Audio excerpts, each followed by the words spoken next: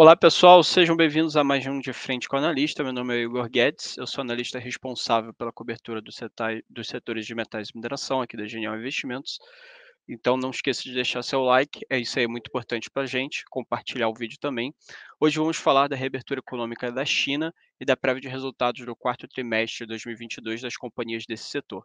A reabertura da China começou relativamente desorganizada, na nossa opinião, mas isso deu uma acelerada nos preços das commodities, o que deve impactar positivamente o resultado das mineradoras nesse trimestre, nesse quarto trimestre.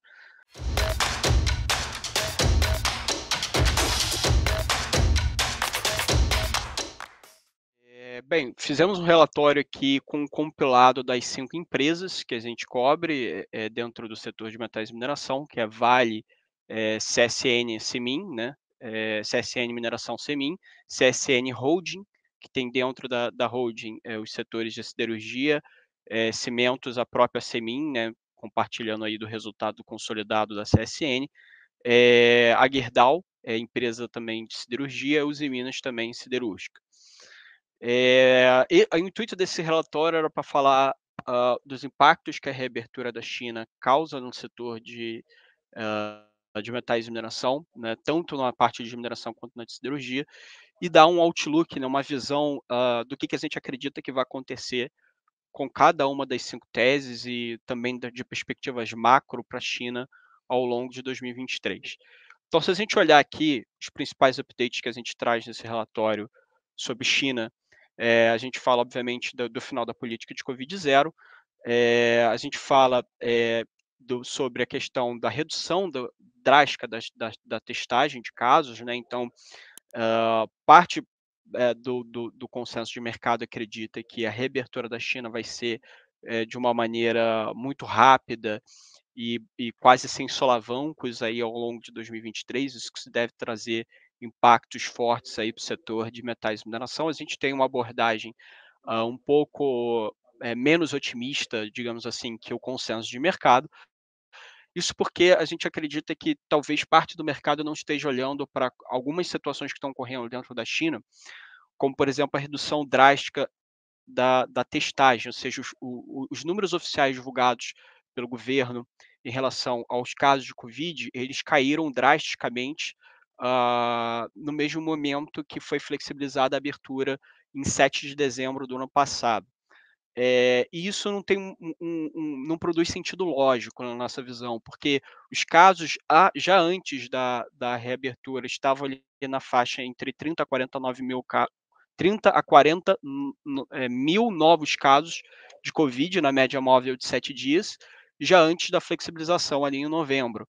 É, e quando ocorre a flexibilização em 7 de dezembro, essa curva cai, e essa curva cai porque a, a testagem em massa ela deixa de ser feita pelo governo, ou seja, o governo flexibilizou as medidas e deixou de realizar o teste para o Covid. Então, se você não testa, você não tem novos casos. assim. É, e a gente ainda vê ali uma exposição de basicamente 11 milhões de idosos que não possuem ciclo vacinal completo, ou seja, primeira, segunda e a dose de reforço, né, terceira dose.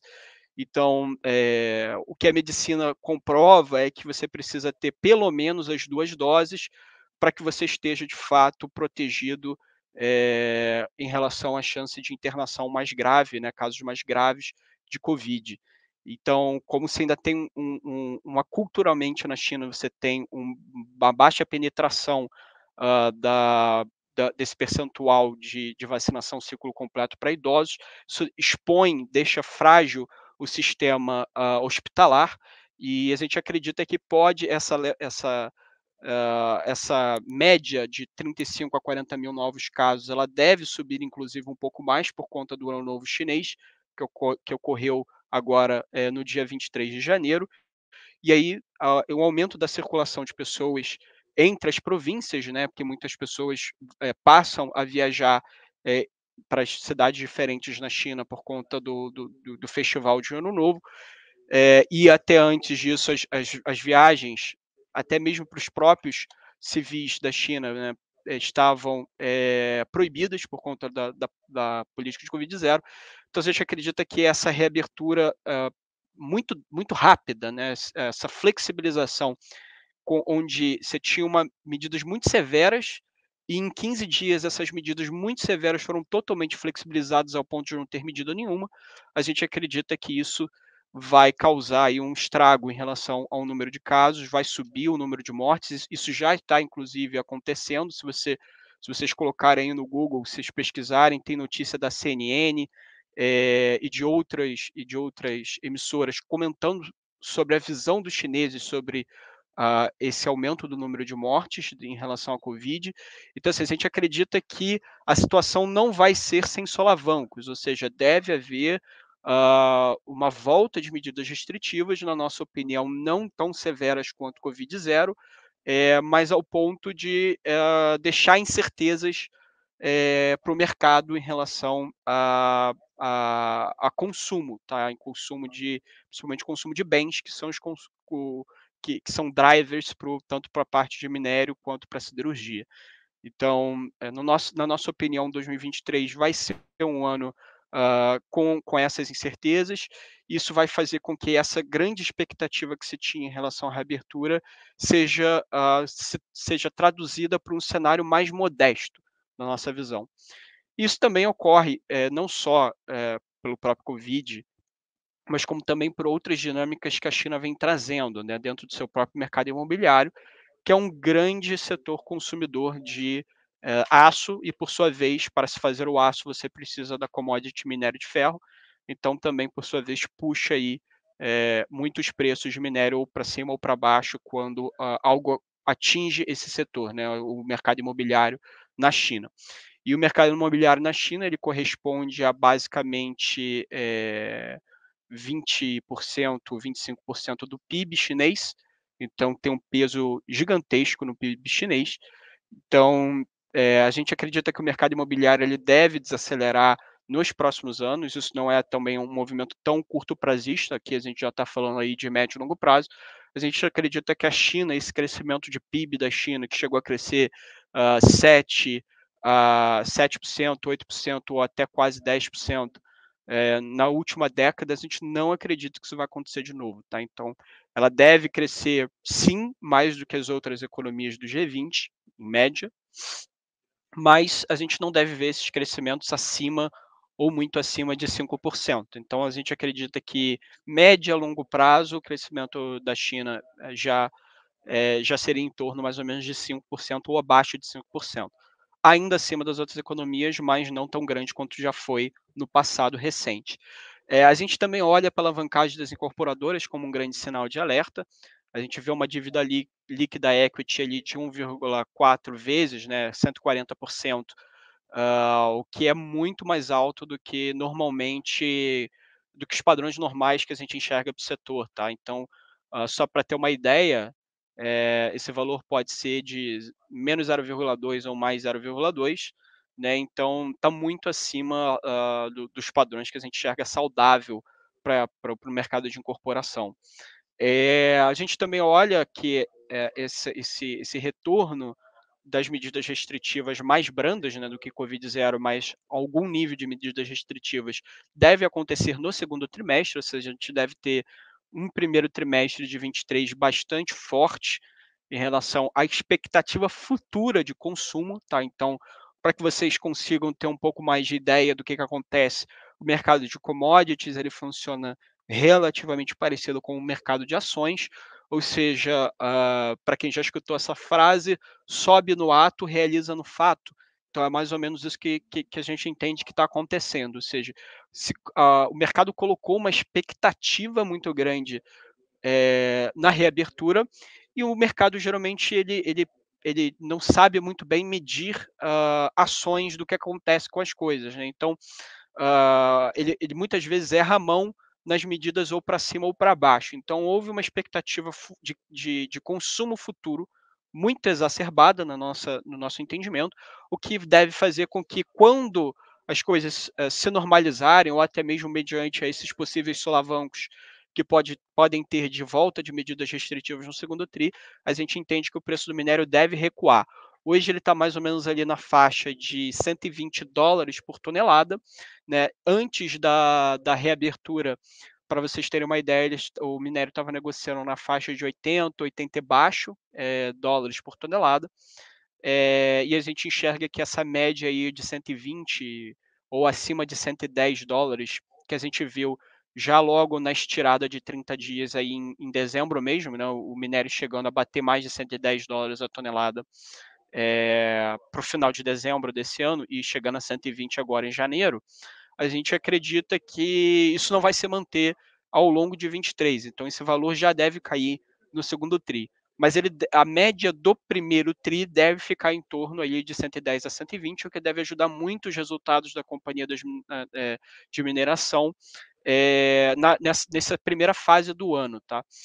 É, olhando aqui mais exclusivamente para a Vale, que a gente diria que é, é a principal empresa de mineração brasileira, a gente, a gente vê que esse resultado ele deve essa apreciação do valor é, do minério de ferro deve puxar o resultado já no quarto TRI.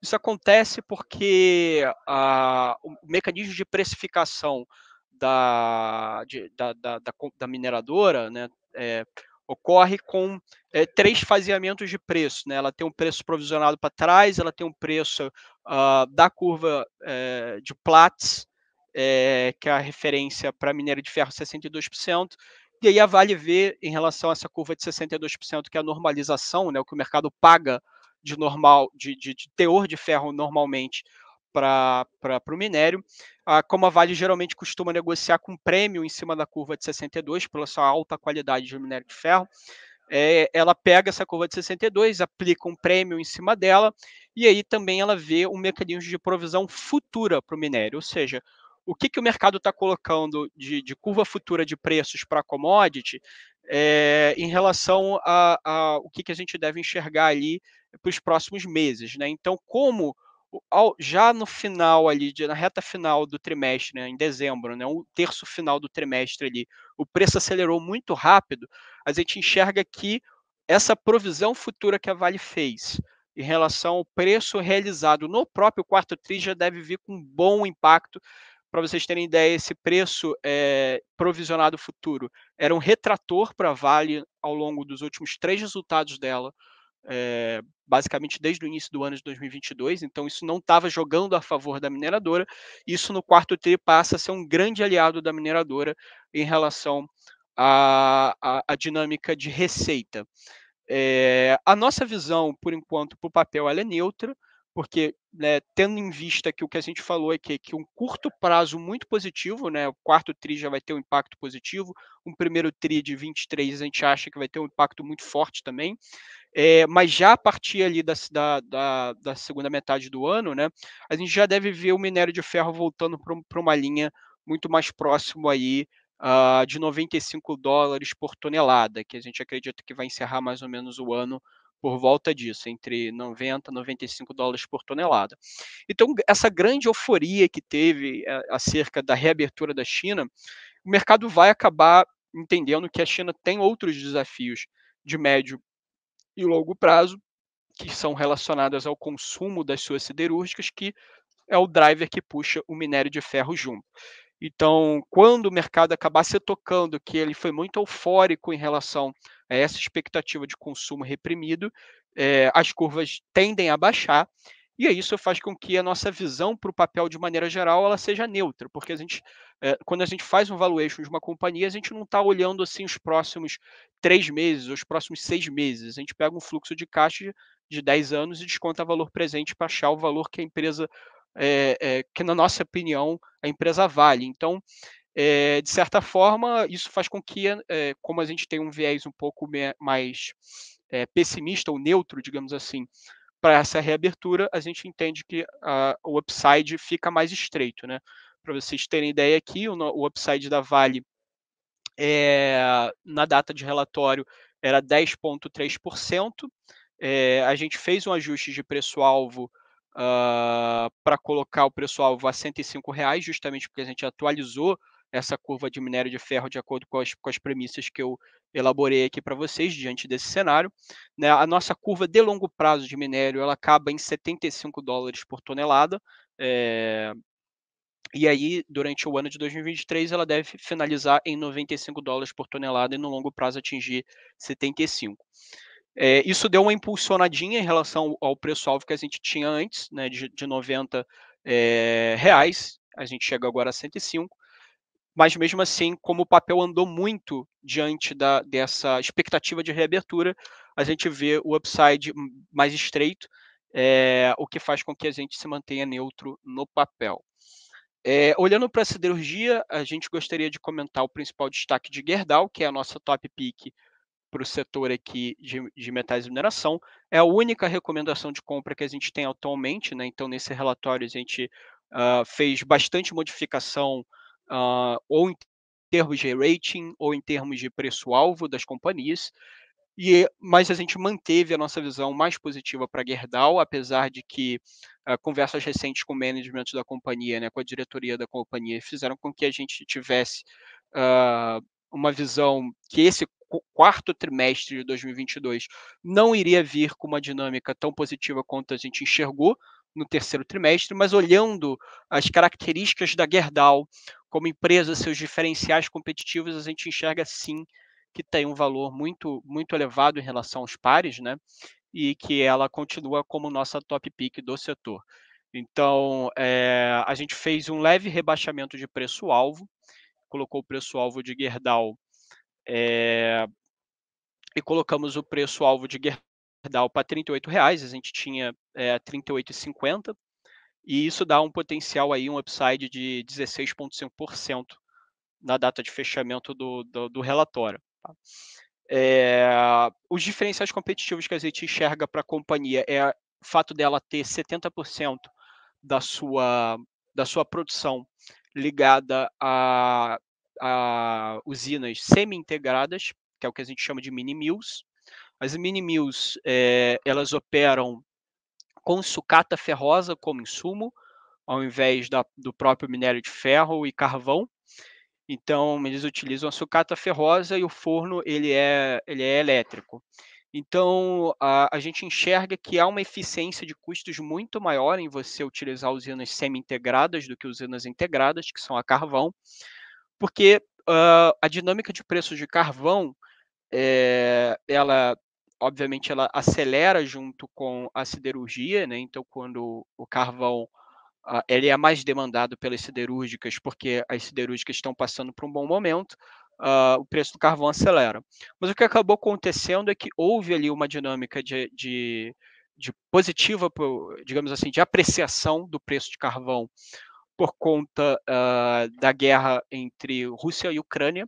Isso impactou a commodity energética porque, uh, como havia uma restrição ao gás russo por conta da Europa ter cortado relações diplomáticas com, com a Rússia, é, e grande parte do fornecimento uh, de gás ia principalmente, é, é muito demandado principalmente para a utilização de calefação no inverno europeu, onde os países europeus eles atingem temperaturas às vezes de menos 10 graus, menos 15 graus.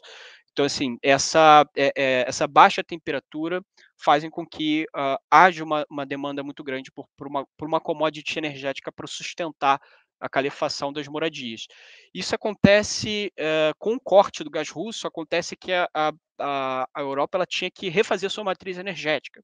E aí, ao refazer a matriz energética, ela viu assim, pô, precisa reativar usinas nucleares que estavam desativadas, ou precisa investir mais é, em usinas eólicas, ou os países que tenham boas quedas d'água conseguir é, construir ou aumentar a capacidade produtiva de energia em usinas hidrelétricas. Isso não dá para fazer instalando os dedos, né? Então demora um tempo, é, demora alguns meses ou até anos para você conseguir é, colocar aí é, uma mudança de matriz energética. Então, no curto prazo, o que, que a maior parte dos países europeus fez? Cortou o gás russo e precisava substituir rápido, e substituiu rápido com o carvão. Então, isso fez com que a, a, demanda por carvão fosse muito elevada. Obviamente, a gente tem diferentes tipos de carvão. A gente tem o carvão uh, metalúrgico, que é o carvão específico para a siderurgia, com um teor de queima específico para as usinas integradas. Mas o carvão, como toda a commodity, carvão ela subiu. No que ela subiu, acabou afetando também especificamente o carvão siderúrgico, né, o carvão metalúrgico. E aí a gente viu o COGS, né, os custos, o CPV uh, da, dos produtos de aço subindo muito aí é, por conta disso. Existe um delay em relação à, à curva de preços spot e o, o, preço sentido na compra né, desses insumos pelas siderúrgicas. A gente comenta sobre especificamente sobre esse delay ao longo do relatório para que uh, as pessoas que lerem entendam exatamente como funciona a dinâmica, mas isso significa que uh, a gente tem um efeito é, de postergação, então esse o inverno europeu está correndo agora, nesse momento, né, reverso da lógica no Brasil, enquanto aqui a gente está no verão, lá está no inverno, e nesse momento o preço dos carvões, do carvão está subindo. Uh, mas perto ali do meio do ano, o preço do carvão desceu, porque é justamente quando a Europa não está no seu inverno. Isso fez com que, se a gente olhar o delay da curva, nesse quarto TRI, é, parte dessa curva carrega esse aumento de preço do, do, do, carvão, mas boa parte dessa curva vem com um delay em relação ao meio do ano, quando o carvão estava mais baixo do que está agora.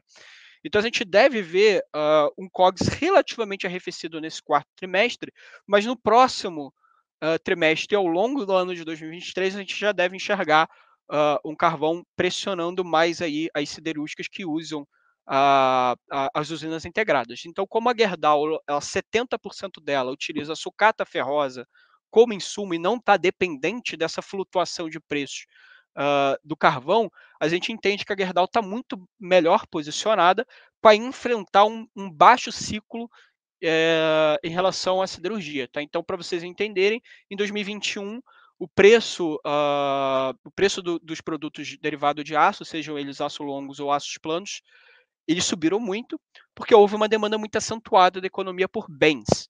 Né? Quando uh, os lockdowns terminaram e a gente viu o avanço aí da, da, uh, da vacinação, é, principalmente aqui no Brasil e tal, China teve um outro efeito, como eu já comentei no início. Uh, aqui no Brasil a gente enxerga que tem um, uma dinâmica já basicamente uma vida pós-Covid, digamos assim. É, e isso faz com que uh, o consumo de bens fosse trocado por consumo de serviços, porque as pessoas ficaram muito tempo sem consumir serviços, ou seja, ir no cinema, uh, ir a shows, ir a eventos, uh, ir a restaurantes e bares, então isso tudo provocou uma demanda muito forte por serviços e em detrimento do consumo de bens, principalmente consumo de bens de ciclo longo, ou seja, uh, muita gente comprou geladeiras, comprou uh, uh, eletrodomésticos em geral para casa, notebooks para fazer home office. É, isso tudo envolve o consumo de aço, né? Então, a sua geladeira ela tem ali um, um aço na estrutura dela. Então, assim, é, boa parte desse consumo de aço é, foi demandado durante o ano de 2021 e durante o ano de 2021 a gente viveu um topo de ciclo para as empresas de siderurgia, né? Lembrando que é, tanto commodities, né, seja ela mineração ou siderurgia, são empresas cíclicas, ou seja, uma, a hora que o ciclo vira para baixo, essas empresas naturalmente começam a reportar resultados piores do que os resultados de topo de ciclo. Então, a gente em 2021 viveu uma, uma bonança em relação a consumo de bens, é, e aí as siderúrgicas tiveram resultados muito, muito fortes. E o ano de 2021, 2022, esse, esses resultados começaram a desacelerar, a gente no quarto tri espera resultados muito mais fracos. É, para todas as siderúrgicas, inclusive a Gerdau. Então, a Gerdau foi positiva no terceiro TRI em relação às outras, conseguiu manter um preço realizado muito vantajoso. A gente viu todas as siderúrgicas uh, que a gente cobre aí tendo retração forte de preço realizado, e a Gerdau não só retraindo seu preço, mas como aumentando o seu preço realizado na dinâmica do terceiro TRI. Isso foi muito positivo, foi quando a gente elegeu a companhia como top pick do setor de metais e mineração. E também, agora nesse quarto TRI, a situação já muda um pouco, ou seja, no quarto TRI, a companhia deve sentir um pouco mais essa desaceleração de consumo no ambiente macro, mais impactado por inflação, impactado por taxas de juros mais altas, seja aqui no Brasil, como no, o aumento de juros, o aumento do aperto monetário, de ritmo de aperto monetário que o Fed está fazendo nos Estados Unidos. Lembrando também que a Gerdau tem uma exposição muito forte ao mercado norte-americano, isso também, esse aperto monetário também impacta a companhia nos seus ativos nos Estados Unidos, mas a gente vê essa diversificação entre Brasil e Estados Unidos muito positiva para a Gerdau. Então, como por exemplo, os Minas têm um tem uh, uma indústria siderúrgica muito mais local, a Gerdau está mais exposta a, a, economias diferentes. É, e nos Estados Unidos ela, tá, ela tem aí uma exposição ao setor de óleo e gás e infraestrutura. que a gente acredita que deve ser, apesar da, da possível quadro de recessão, provável quadro de recessão nos Estados Unidos em 23, uh, ah, os setores de óleo e gás e infraestrutura devem estar aquecidos ao longo do ano por conta do pacote uh, de, de, de investimentos em infraestrutura aprovados aí no governo Biden em 2021, mas que deve começar a cair a grana lá, ou cair o grande efeito uh, para os setores de óleo e gás e de infraestrutura ao longo de 23. Então a gente acredita que isso vai impulsionar o consumo por aço nesses setores, isso vai ajudar a Gerdau a ter resultados mais positivos que as outras siderúrgicas, e também como a gente tem um viés uh, mais neutro para as teses de mineração, porque a gente acha que essa a, a abertura de preço aí de 30% mais ou menos em relação à data pré-7 de dezembro, e a data de hoje, né, do, da, da, data de publicação do relatório, teve ação que subiu um pouco menos, a Vale subiu um pouco menos, mas a gente viu o Semin subindo aí 20, 20 e poucos por cento é, em relação a essas duas datas, nesse gap de tempo. A gente acredita que os papéis ficaram muito caros. Tá? Então, se a gente vê o mercado se comportando de uma maneira mais normalizada, a gente pode aí ver mudança de rating para algo, uh, uh, para uma recomendação de compra mas nesse momento a gente acha que o mercado overprecificou, né, precificou acima do, do ponto justo uh, essas ações, então por isso recomendação neutra e apenas a única recomendação de compra é Gerdau. E é isso. Bem, pessoal, esse foi, é, esse foi o nosso uma, um overview, né, uma visão geral sobre o que a gente escreveu. O relatório está muito detalhado, a gente fala muito aí da dinâmica de China.